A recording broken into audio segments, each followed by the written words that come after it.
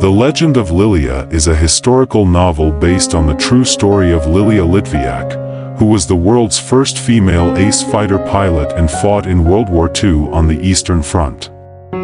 It looks at her life as a fighter pilot and the mystery of what happened to her at the end. The book was written after the author did a lot of research and talked to female pilots, mechanics, historians, and government officials. It tells about her life, what she did to help the war effort, and the difficulties she faced as a female pilot and the daughter of a family with political problems. The writing is interesting, full of vivid colors and action, and it combines history with a well-told story.